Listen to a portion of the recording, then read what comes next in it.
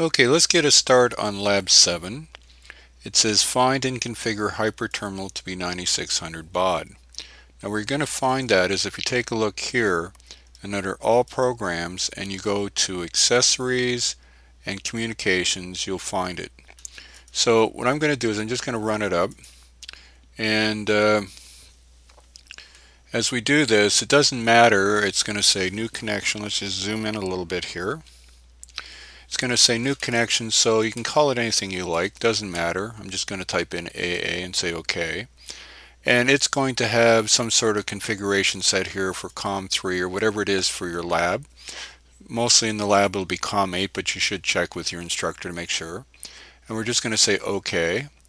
Now the other thing that you have to make sure of, and it should say 9600 baud here. So let's change this to 9600 baud should be automatically set up in the lab and your flow control should be none. So that's basically how you're going to have things. 9600 baud, 8 data bits, no parity, one stop bit, none, and we can just say OK. So once we've got that set up, we have a little bit more to worry about. We just have to go File, Properties, and under Properties we're going to go to Settings and change this Auto Detect to ANSI, American National Standards Institute. Once you've done that, you're ready to go. So let's back up a little bit here. So let's just put this over here and click back to see what we have to do next. It says make sure that it's configured to be COM ports or USB is available to it. And then we're going to put three ASCII characters on your hyperterminal screen using CodeWarrior. So let's take a look. Here we got CodeWarrior and what you're going to need here is you're going to need the memory browser you're going to set it up for eight columns, one uh, byte per whatever here for cell size, and ASCII over here. That's what you're going to have to have that set up for. I'm just going to make this just a little bit smaller. And at the same time, what we want to do is just for fun, let's bring up Hyperterminal right beside it over here. So that's what we're going to be doing. We're going to have these two screens that we're going to be working with. Now, one of the first things you're going to have to do over here is to set the baud rate. And what we have to know is that address 20 and 21 over here is the thing that sets up our baud rate. So to understand how to do that, let's just go back and take a look here. Uh, let's take a look here and see where we find out how to set up the baud rate. Well, if we take a look here under course documents, under course documents is a number of different things and we're going to be looking at the HCS08 manual. So if we take a look there, let's go back up here a bit. I've already got it open over here and this I believe, let's take a look. This is on page 40 and it tells you here basically how you're going to calculate the baud rate. So what I'm going to do is I'm just going to bring up the calculator here and show you how this is going to work. So right now it says baud rate is given by bus clock divided by 16 times the number that we have to put into the baud uh, register to make this work. So if you're thinking about this a little bit, what you can figure out is the number that we need is equal to the bus clock over 16 times the baud rate. So we can work back the other way. Now our bus clock speed is 20 megahertz, 20, 1, 2, 3, 4, 5, 6. And what we want to do is divide that by 16, divide it by 16, and then we're going to take that number again and divide it by 9,600, which is our baud rate, and that gives us a number of 130 here. Now what we want to do is put this in in hex, so we're just going to switch this from decimal to hex, and there's where you get your 82. So 82 is the number that we're going to have to put into there. So let's go back and take a look what we've got here, and let's bring up um, hyperterminal beside it. So over here, let's just focus on the screen for a second. So in address 20 and 21, we have to have 0082. So we're just going to punch in 82. Remember to hit the enter key. At this point, when the enter key is done, it's now changed the baud rate for the SCI to be the number we want. Also, this is address 20, 21, 22, 23, and this is really forming it what we call SCI2. And this is one that connects the keyboard to the screen using hyperterminal here. So 0082. We also have SCI1, and we can do the same sort of things here. SCI1 connects a DE1 board to the other DE1 board uh, on the terminal next to you. We're just going to work with this. We can deal with this later, as we'll see. Uh, what we need, so this is 20, 21, 22, 23. Address 23 happens to be the control register 2. And what we have to put in here is a 0C and hit enter. And the 0C, if you think about it, is a bunch of zeros, then 1100. The two ones that are in here enable the transmitter, which sends stuff to the screen here, and the keyboard. So we have to have both those enabled. Now if we want to send characters to the screen, what we have to do is double click on this, which is our status register 1. We're going to put a 00, zero in here to make it read. Notice it read a D0. And what we're going to do over here is we're going to punch in a 41. Now watch what happens when I hit a 41. Up here, the 41 disappeared, but up on the screen here, I have the capital letter A. Now the first part of the lab is to actually put three ASCII characters up on the screen, but we don't want just any ASCII characters. We want the first three ASCII characters that form your name. So David Ross would be DAV. That's what you need for your first initial up here. Now one of the other things, if we click on this screen, and I'm just going to press a capital letter U, Notice nothing happened, but if we go back here to this address, which is 27, and I just put 00 and hit enter, there's the 55, which is the U. So one of the things that we'll find is to put characters up on the screen, we have to check this first and then send a character. Let's just try sending a character. Let's just try sending 55 to the screen. Nothing happened. Let's try that again. Let's put a 55, enter. Nothing comes up on the screen. Why? because we have to check this by putting a 00, in here first and then we can put whatever number we want then it goes to the screen. So sending stuff to the screen we have to have the baud rate set up, we have to have the transmitter and receiver enabled. We have to also read the status register which is called SCI2 status register 1. We have to read that and the way we read that is by putting in a 00 zero to read back the, the contents which is the read and then we can put any number we want. Now I'm going to put in a 42 uh, and I'm going to hit enter and the 42 comes to here. But if I put a 43 here, nothing. So, but the other thing is, I said, if you click on the screen here and I press a character, I'm just going to put in a random character here. I'm not going to show you what it is and I wonder what that random character is. When I put a 00, zero here, I get that is the capital letter Z, which is a 5A. So when we send characters to the screen, we have to read the status register. When we read characters from here, it doesn't really require us to do that, but you'll see in the code that we're going to do later that you will have to take that into account. So the next part of Lab 7 is to take the program on page 99 and put it into CodeWarrior, which I'll show you shortly. And it says modify each key press that you enter so it shows up on the green LEDs. Describe what happens and doesn't happen when you hit the enter key. So let's take a look at the program. And here's the program here on page 99. I've put it in here. I've changed it. Takes character from the PC keyboard, sends it to the PC screen using HyperTerminal. And you'll notice that there's some interesting bit of coding down here, it says SCI2D equals SCI2D, and you're going, what? How can that be? How can two things be the same? Well, let's take a look over here, Blackboard here. And this is coming right out of the course notes. This is page 93 of chapter 6. And what you're going to find is the transmitter here has exactly the same name as the receiver. The receiver is called SCI2D. Uh, this is also called SCI2D. And the read-write line that we've got here determines which one that you're talking to. So if something's coming in, that's the receiver, that's SCI2D. If something's coming in and going onto the data bus into an accumulator or something, if something's coming back the other way and going to the transmitter which shows up on the screen, that's SCI2D as well. So when you say SCI2D equals SCI2D, the one that's on the right hand side is where you're getting your information, which is your receiver, and the transmitter is on the left hand side of the equal sign, which is saying I'm now sending it to the screen. So basically, you're going to hit a character on the keyboard, it's going to come into the receiver, and the receiver data register full flag will indicate yes there's something there and then it's going to go into an accumulator and then it's going to say okay now take that send it back here to the transmitter, wait for the transmitter data register to be empty, and send it to the screen. So the upshot of all this is it's going to connect the keyboard to the screen through an accumulator over here. This is the receiver, this is the transmitter. So, and the thing is, once you hit a character on the keyboard, it's going to stay there for quite a bit of time. So all we're going to do is say LEDG equals SCI to D. Now I have our program running, and what it's doing here in our code is it's basically saying wait for a key press to come in from the keyboard and it's going to sit in this loop until it does. And then it says okay wait until the transmitter data register is empty. To send it to the screen when it's empty it's going to then take what's in the receiver send it to the screen which will show up over here. Then it's going to take what's in the receiver and then send it to the green LEDs and keep doing this over and over again.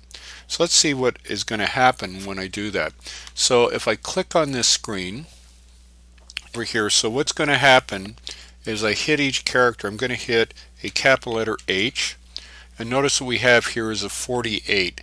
So every time I hit a character it's going to show up on the screen because it's going from the receiver which is my keyboard to the screen and it's also going to go on the green LEDs over here.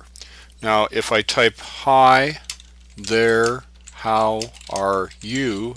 question mark and this is the question mark which is a 3F if I hit the enter key and you'll notice the enter key is a 0D and one of the things it asks on the lab is what happens and what doesn't happen. Well what happens when we hit the carriage return or enter key it puts us right back to the start of the same line. What does it not do? It does not move us to a new line. If I hold down or type the lowercase a, lowercase a is a 61.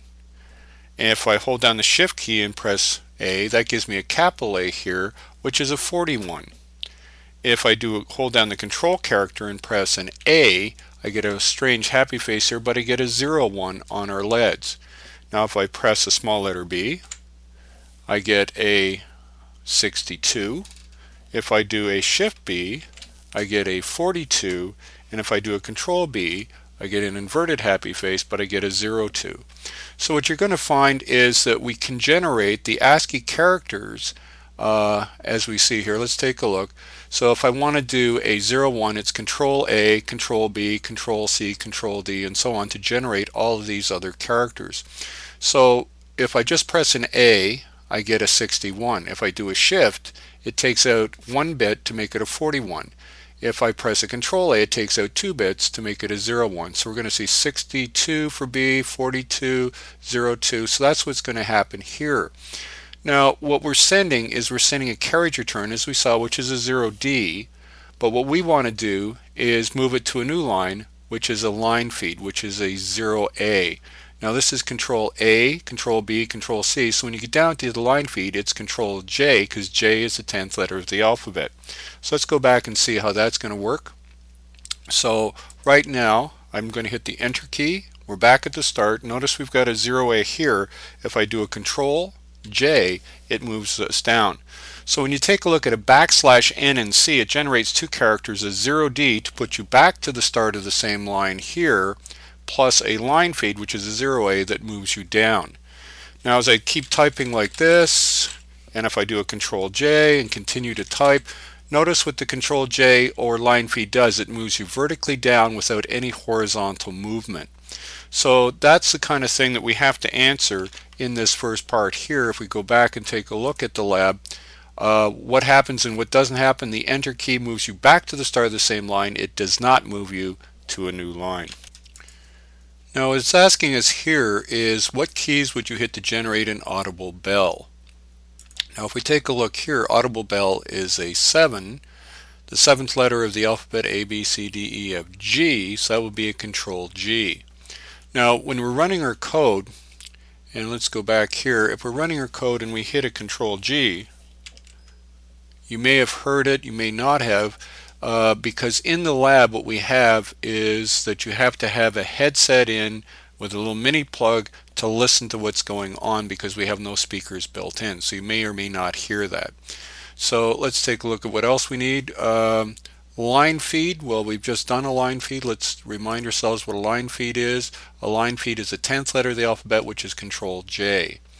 Uh, what else do we need here? Let's take a look. Horizontal tab well, let's take a look and see what a horizontal tab is. Horizontal tab is a 9. Well, if this is a control J, what comes before J, I. So let's go back and take a look at our code running. So if we do a control I, you can see that it actually tabs across the screen quite nicely. And on earlier keyboards, uh, way back in the day, if you didn't have a tab, you would hit Control I. Form feed. Let's take a look at form feed. So what character generates a form feed? Well, if you look it up, it's a, uh, a 0C, which if you work it down, Control L. What did a Control L do? We'll look at that. It cleared the screen. But it does more than that. Uh, a form feed on a printer will actually make the printer go to the top of the next print form. It actually ejects paper. And on our PC screen here, it basically just clears the screen. Let's take a look at carriage return. Carriage return, if we look down here is a 0D. How do we generate that? Well, that's JKLM. So if we do a control M, let's type in some stuff and then just do a control M, you'll see that indeed it does move us back to the start of the same line. And describe in words what happens when you do these things. Audible bell makes a 1 kilohertz tone. In the old days it used to be a real cowbell, but today it's just a little beep. Uh, line feed moves you vertically down without any horizontal movement. Horizontal tab moves you to the next tab position. Form feed on the screen clears the screen or rejects paper on a printer. Carriage return moves you back to the start of the same line. Now it says use ANSI escape sequences on page 97 as you run this program to do a number of things. There's a list of escape sequences that are used to clear the screen and other escape sequences that are used to position the cursor anywhere on the PC text screen. Now let's take a look at running some of the code and escape left square bracket to capital J. Now these capitals and lowercase letters and so on. These are important that you have these as capital J's. Make sure you check your shift lock character. But let's go back down and take a look here. So if I do an escape and watch at the same time what's going on here.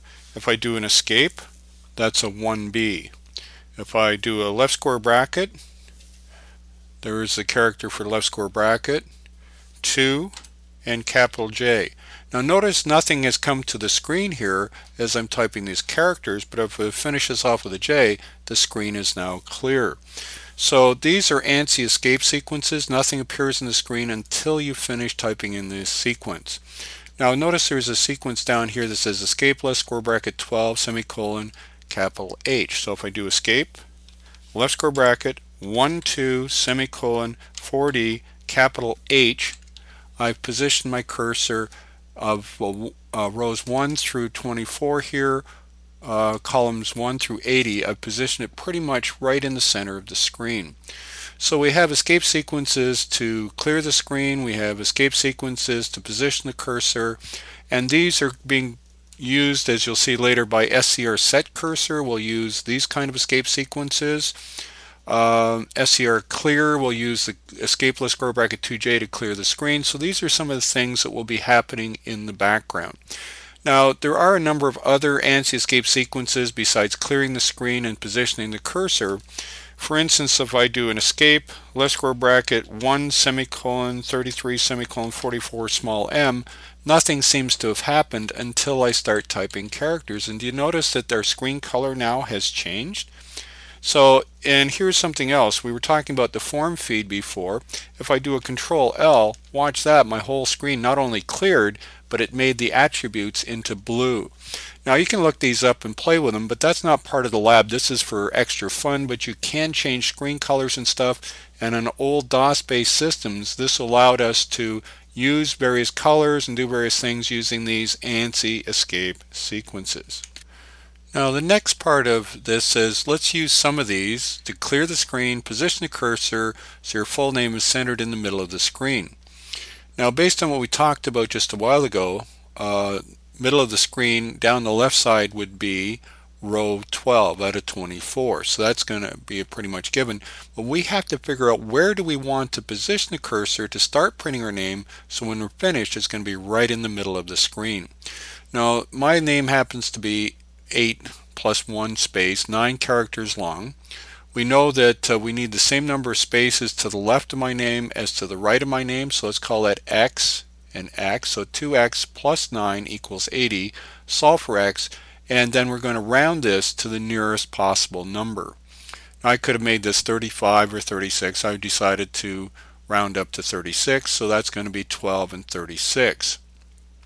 So let's see how we go about running this up. So right now escape left square bracket 12 semicolon 36 make sure it's capital H and then I'm just going to type in Dave R O S S and I'm all set to get my initial because as you can see there's the same number of spaces this side as there is this side, 9 spaces for my name, total of 80, and I put my name on the screen. So that's what we need for an instructor's initial here. Now it says to create a function called scr write character that sends a single character to the screen. The prototype should be this and you can use this to send any character including an equal sign or any character we want and that's what we're going to do next. Now what I've done so far is I've just added a function prototype as it says in the lab.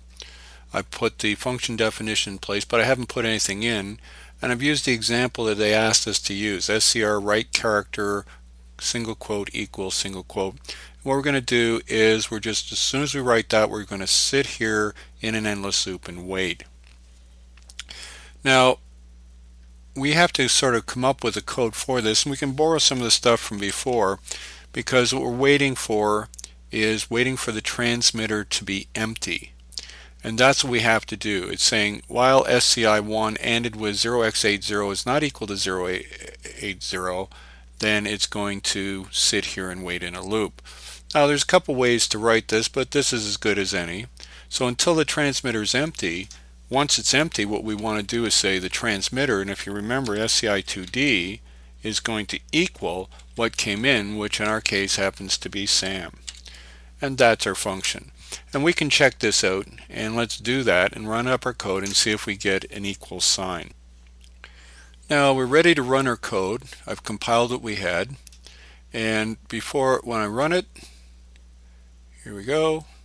And you can see that wherever the um, cursor was last left, you're going to get this character. And there it is, the equal sign. So it was left after my name. So when I run it, that's where it's going to send it. And that's all you really need to show for whatever demonstration you want. So now we have a function that is not in our Arduino library that should have been. We have an LCD underscore write ch. Now we have an SCR underscore write ch for here and you've got your own function that you've done that for. Isn't that cool? Okay, the next thing we're going to do is create a program using Arduino-like functions. So far we have not used any Arduino-like functions. We've created one. And we're going to be using these to clear the screen and position the cursor and then print out this across here. So if we happen to hit a capital letter A, it's going to print A equals whatever it is as a hex number, another equals, and then whatever it is in binary. Now, the write character we're going to use for the A, for the equals, we're going to use SCR write uh, here for the 41, and SCR write character again for here, and then we're going to have to either write a 0 or a 1 based on the bits that are here and we'll see how to do that shortly. Let's take a look. First of all, uh, it says to center this stuff in the center of the screen. Uh, and uh, or we should center it in the center of the screen. So we've got 1, 2, 3, 4, 5, and 8. We have 13 characters. Now we're going to start with this, what we've had before. It hasn't changed. It's taking a character from the PC keyboard and sending it to the PC screen using HyperTerminal. It's doing some fancy formatting. But let's take a look at some of the things we don't need. We still need to write character, and that's not in our function. What do we not need? We do not need this, because what we're going to find is that SCR uh, or SCI2, DB, DH, and all this kind of stuff is already being used by, strangely enough, devices init. So all we're going to have to do is, again, put in our include. So we're going to have to add our include e colon backslash library underscore de1 dot h and then we're going to make sure we put our library in we have to do all that but let's start writing our code first so we're going to do lcd underscore rows equals 4 even though we don't really need this. LCD underscore calls. These are just standard things you can put in. Now, since we're not using the LCD, if we want, we can actually send characters to LCD as one. But the main thing here is devices underscore init. So devices init does all the SCI2 initialization.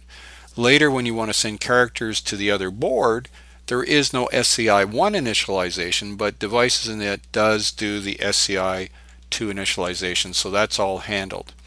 So right now, what we want to do is write the character that we type in from the keyboard. So kb underscore get char is what we're going to use. So let's go back and uh, kb underscore gets char. Now, we're going to have to set up some variable to equal that. So let's go up and where do we put our variables if you remember? Yes, variables come first. Bump, bump, bump. So volatile, volatile, unsigned, char, input. So we're going to down here say input equals kb get char. Now what I've done is I've just said file open and I've opened up as you can see here library underscore de1.h and how do we get to it quickly? If you remember we were we do a control F on this screen and what I look for is kb underscore get char. And when we do that we can find the actual description of what is kb underscore get char. It's right above the unsigned char kb get char uh, function prototype. This function will return a 00, zero or null if no key was pressed or will return the actual ASCII character if a key has been pressed. So 99.99999% of the time it's going to return a 00, zero and that can be an issue. So let's go back to our code and see what we're going to do. Let's go back to main.c and let's zoom back out here. So when we have kb input equals kb get char, then we want to say while this is not equal to zero because otherwise we haven't really gotten a character have we? So what we're going to do is we're going to say in front of this while input equals get char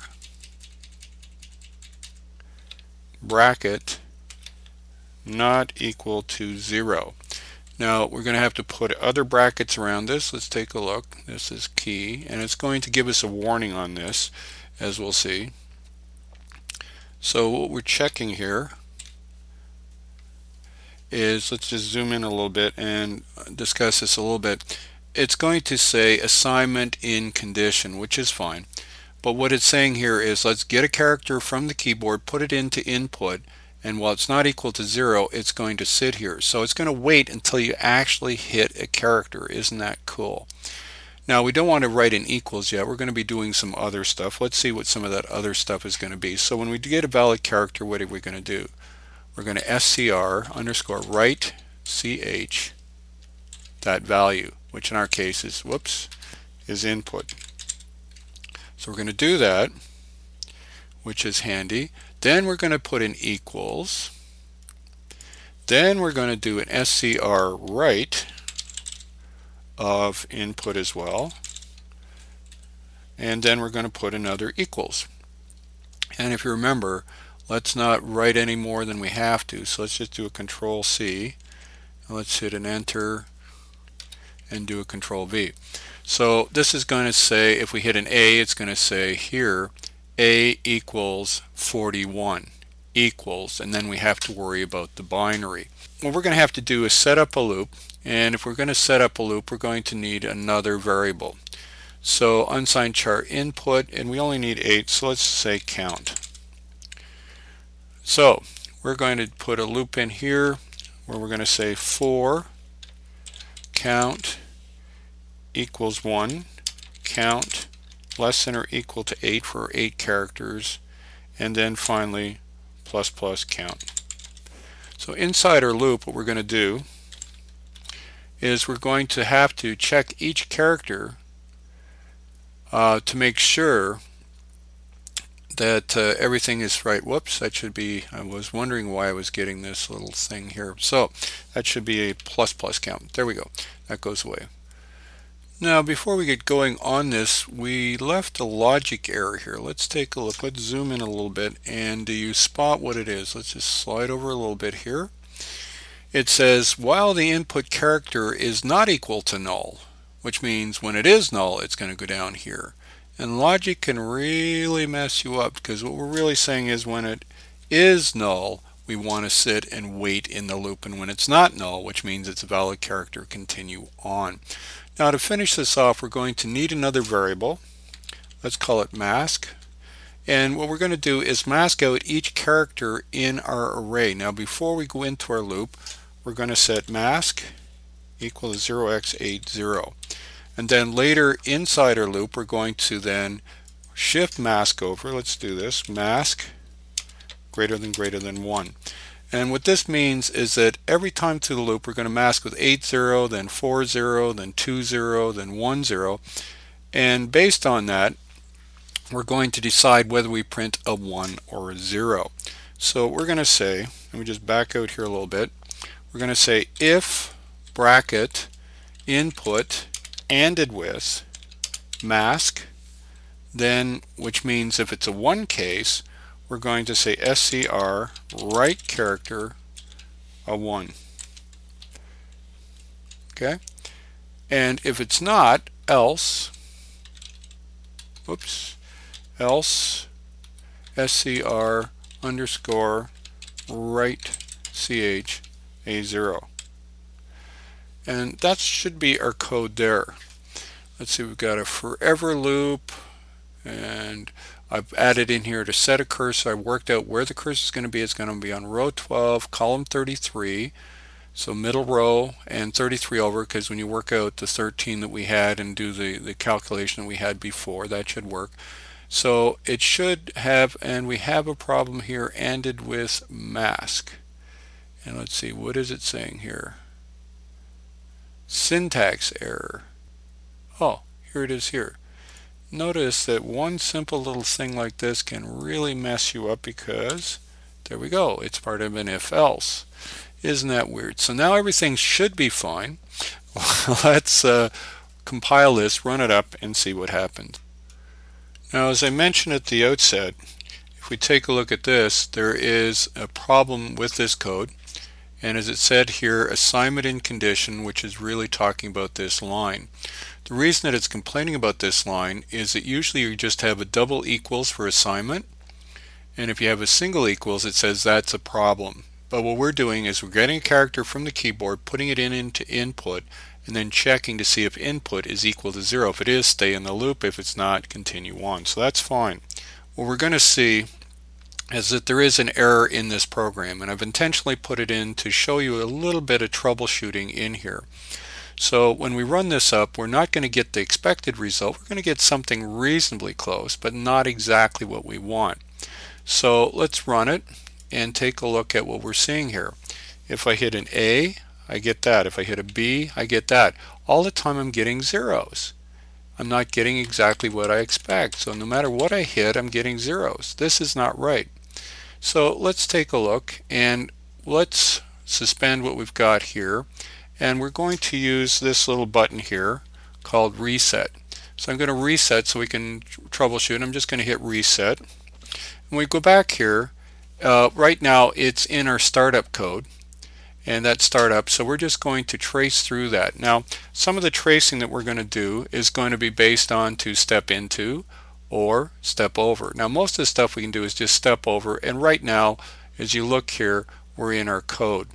And so we're in our main so as we go back up here, we're going to step over. And the ones that we definitely have to step over as we go down through here is we have to step over anything that has to do with our Arduino-like functions. So let's do a step into. So we're down here, LCD rows and columns, step into.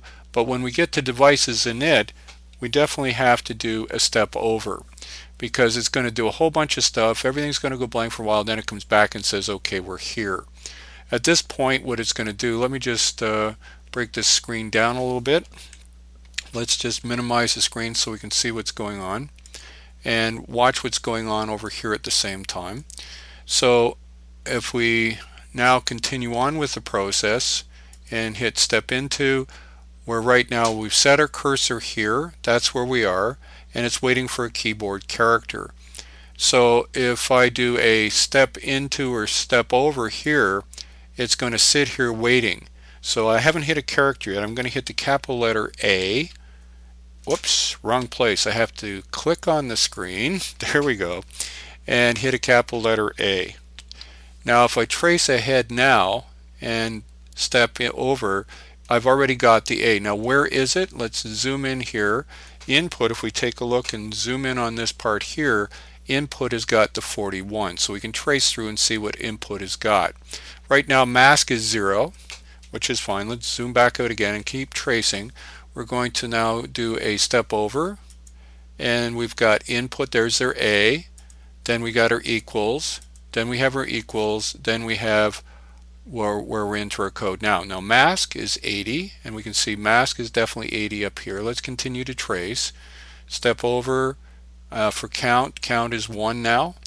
And input ANDed with mask. Seems fine. It should put up to 0. That's fine. Mask greater than greater than. But notice what we found here. Mask did not change. It's still 80 oh my god, that's what our error is because it should be mask equals mask shifted. So let's go back, correct that, and come back and look at our code.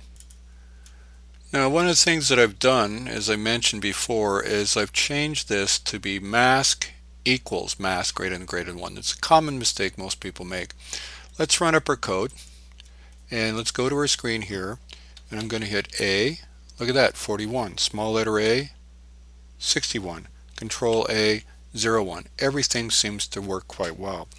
Now what I'm going to do is I'm going to again suspend our code and I'm going to go over here and reset and let's trace through our code once again but this time we'll, we know that it does work and we don't have to troubleshoot it but let's see how the difference is now so let's go and do step over step over step over go down through here LCD rows and columns setting up our variables the device is init, takes a little while, everything's initialized with real hardware.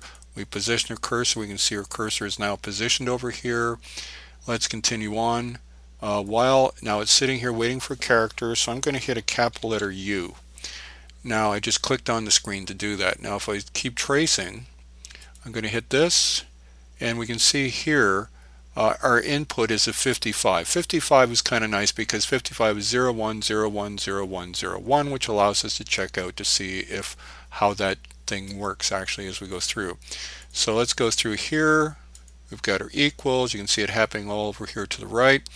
And you can see our variables are going to change as well count and so on so we can zoom in just a little bit more if you want here so we can see all of our variables are definitely changing so if we continue on we're going to see input ANDed with mask and so on, SCR rate 0, that's fine. Then when we go back the next time, uh, we can see that mask is now, and this is very important that we didn't have happening before, we can see that mask is 40 this time, which is the way it should be. So as we continue tracing along, we can see that yes, count is changing, everything's working, now we're getting our 1. So that's what I'm saying. Tracing and so on, we can go, at this point, we can go into run mode because everything seems to be working fine. We can hit any number we want. And uh, let's go back. I have to click here. I have to hit anything I want on the keyboard and things will happen on our screen. So we've got this part working. Now we have to modify the program so instead of taking a key press and sending it to the screen, it takes the lower eight switches and sends the equivalent character to the screen if we look at our code, it uh, was taking everything from the keyboard. So what we want to do is we can make a very simple thing here. We don't have to worry about waiting for characters from keyboards or anything. We can just make one simple change here. Input, whoops, input equals SWL. And uh, everything should work. Okay, as you can see here what I've done is I've got our switches set at 41 and over here we've got A equals 41. So as I try start changing the switches, I can change the switches to 42, 43, 44, and so on. And if we talked about before, if you flip this switch here, whoops, this switch up, this switch controls whether you're doing uppercase or lowercase characters. So just switching this up, and if I flip these both down, there is that 0, 03.